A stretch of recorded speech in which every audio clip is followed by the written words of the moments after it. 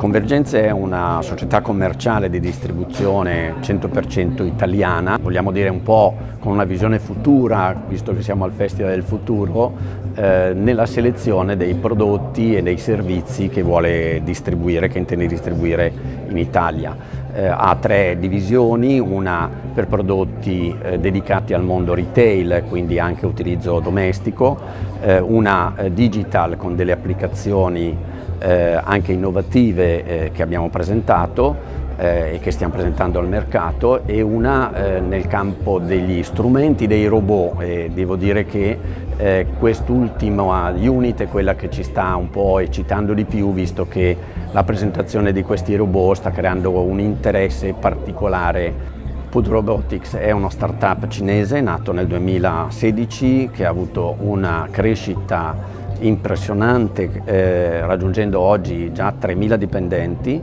eh, grazie a un business plan abbastanza innovativo anche nell'area eh, robotica della preparazione e progettazione dei robot perché eh, sono dedicati finalmente a, non solo alle grandi industrie ma a un uso quasi domestico e quindi con un'efficienza e una, una, semplicità di utilizzo che i robot industriali prima non, non avevano. Sono stati presentati cinque modelli per le varie soluzioni applicative eh, nell'area del trasporto delle cose da un punto A a un punto B, però la loro capacità, l'interattività, la semplificazione nella anche eh, preparazione del settaggio del robot consente eh, utilizzi eh, diversi. Eh, ospedali per, per, esempio per eh, portare medicinali da ambienti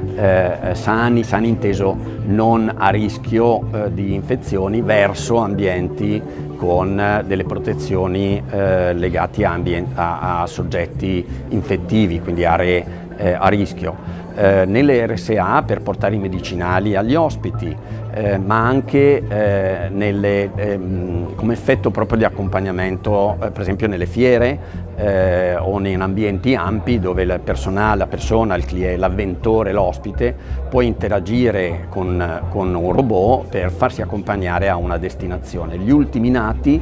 eh, purtroppo in funzione al Covid sono dei robot che poi hanno funzione di disinfettazione, disinfezione, igienizzazione degli ambienti in modo che uffici o aree che vengono chiuse la sera possono delegare un robot e non una persona fisica a disinfettare eh, con i prodotti dedicati al mondo della disinfezione, comprese delle lampade UVE, UVA che si aprono in automatico e quindi delegando a un robot una funzione che magari fatta da del personale può essere anche pericolosa. Quindi.